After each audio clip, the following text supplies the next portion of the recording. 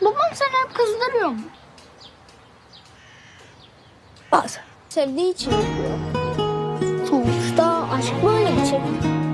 Allah Allah. Biliyorum.